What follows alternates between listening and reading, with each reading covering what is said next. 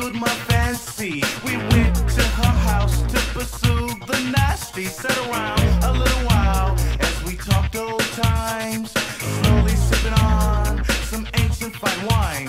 In the mood, she commits to licking my chest. Carrying on, I pursue to caress her breast.